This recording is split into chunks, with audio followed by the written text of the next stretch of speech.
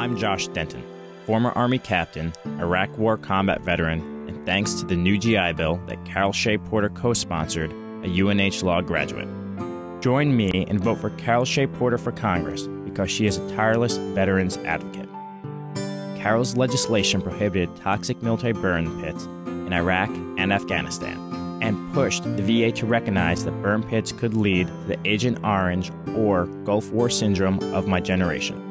Because of Carol's hard work, New Hampshire veterans now have greater access to in state medical care.